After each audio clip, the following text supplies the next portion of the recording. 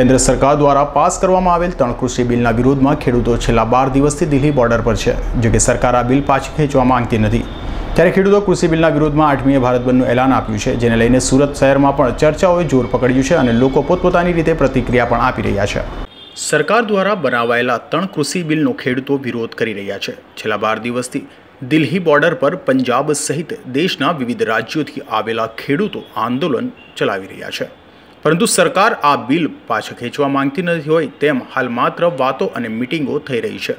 ત્યારે ખેડૂતો દ્વારા ખેડૂત વિરોધી ત્રણ કૃષિ બિલનો વિરોધ કરવામાં આવી રહ્યો છે અને આગામી આઠમી ડિસેમ્બર એટલે કે મંગળવારે ભારત બંધનું એલાન પણ આપવામાં આવ્યું છે. ત્યારે સુરતમાં પણ લોકોમાં ભારત બંધને લઈને અનેક ચર્ચાઓ શરૂ થઈ ગઈ છે. જયેશ પટેલ પ્રમુખ ખેડૂત સમાજ ગુજરાત. ભારત બંધના એલાનમાં કઈ રીતે ખેડૂત સમાજ ની કામગીરી રહેશે ભારત બંધના આ એકચ્યુઅલી આ જે ખેડૂત આંદોલન ચાલે છે, એને લઈને ગુજરાતમાં ત્રેવીસ સંગઠનો, એ એમાં કિસાન સંઘ ખેડૂત સંગઠનો પણ છે ટ્રેડ યુનિયન્સ પણ છે અને મહાજનોના સંગઠન છે, એ પણ સામેલ થયા છે. અને એક ચાર કાર્યક્રમો એમાંથી ગઈકાલે અમે નક્કી કર્યા છે. એમાં ભારત બંધનું જે આવતીકાલનું એલાન છે એમાં ગુજરાતના ખેડૂતો, ગુજરાતના વેપારીઓ અને ગુજરાતના ગ્રાહકો અને ટ્રેડ યુનિયનો આમાં સામેલ થયા છે અને જડબેસલાક બંધ રહે એની માટેના અમારા પ્રયત્નો છે. જ્યાં સુધી કાર્યક્રમોને લાગે વળગે છે, ત્યાં સુધી અમે દસ તારીખે ગુજરાત વ્યાપી એક ધરણાનો કાર્યક્રમ નક્કી કર્યો છે. અગિયારમીએ ગાંધીનગરની અંદર ખેડૂત સંસદ અમે કરવા જઈ રહ્યા છે અને બારમીથી ખૂબ મોટી સંખ્યામાં ખેડૂતો દિલ્હી તરફની કૂચ કરશે. આ પ્રકારના અમારા કાર્યક્રમો નક્કી થયા છે.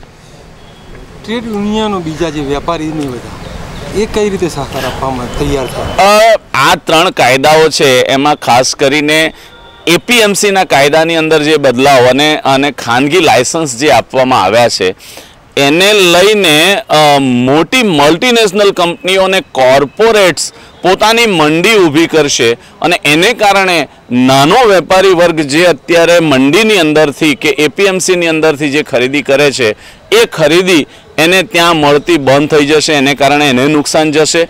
જે સંગ્રહ ક્ષમતાનો જે મર્યાદા હતી, એને રદ કરી દીધી છે એસેન્શિયલ કોમોડિટીમાં એટલે જીવન જરૂરિયાતની ચીજ વસ્તુઓમાં એને લઈને જ્યારે વેપારી અરે ખેડૂતોની જણસીઓ જ્યારે બજારમાં આવશે, ત્યારે માલેતુજારો, કોર્પોરેટ્સ અને મલ્ટીનેશનલ કંપનીઓ મોટા પ્રમાણમાં એની ખરીદી કરી લેશે.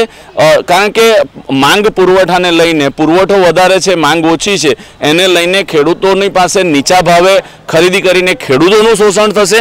અને જ્યારે બજારની અંદર એની જરૂરિયાત ઊભી થશે ત્યારે આ કોર્પોરેટ્સ, આ મલ્ટીનેશનલ કંપનીઓ જેણે મર્યાદાની બહાર જઈને જે જીવન જરૂરિયાતની ચીજવસ્તુઓની ખરીદી કરી છે, એ ઊંચા ભાવે ગ્રાહકોને વેચશે.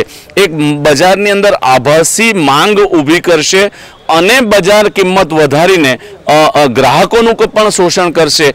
એવું આ કાયદા દ્વારા થવાનું છે એટલે નાનો વેપારી, ખેડૂત ટ્રેડ યુનિયનો અને અને ગ્રાહક વર્ગને આ આ કાયદાઓને લઈને ખૂબ મોટું નુકસાન થવાનું. અને ભારત બંધ રહેશે કે કેમ તે અંગે લોકોમાં ગણગણાટ છે.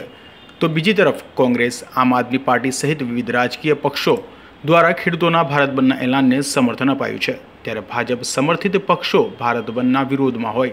સુરતમાં ભારત બંધને લઈ લોકો અવઢવમાં છે. ત્યારે હવે જોવું એ રહ્યું કે ભારત બંધ સુરતમાં કેટલું સફળ રહે છે.